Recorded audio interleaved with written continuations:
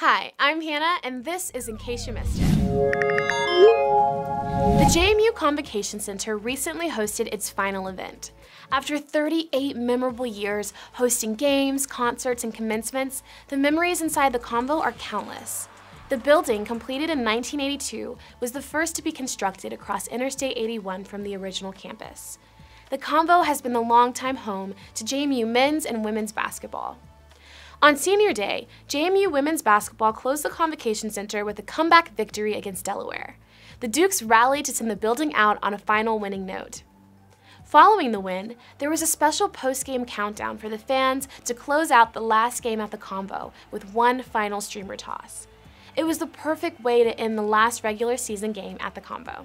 Longtime radio play-by-play voice of JMU women's basketball, David Taylor, reminisced about the significance of the Convo in JMU's history and all the great moments we saw there over the years. Right here is holds a lot of memories for me. This this is where I sat to broadcast JMU women's basketball for well, for 35 years in this facility. There are hundreds of thousands of people who have had some experience here at the JMU Convocation Center and those memories are the things that really make this facility amazing.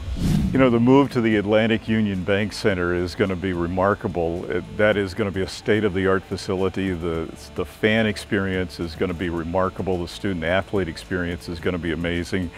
It's going to be a community gathering place you know, I'm looking forward to it. I'll be, you know, a fan and also a supporter of the uh, Unleashed campaign that's helping to make this uh, new facility a, a, a reality.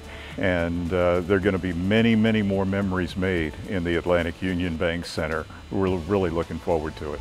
Basketball Hall of Famers, including David Robinson, Ralph Sampson, and Lefty Driesell, played and coached in the Convo. But the arena is more than just a hoop haven. Musical artists like Ludacris, Third Eye Blind, and Jason Derulo played concerts there. Now it's time for a new era to begin with the opening of the Atlantic Union Bank Center later in 2020. Well, that's a wrap at the Convo. I'm Hannah, and this is In Case You Missed It.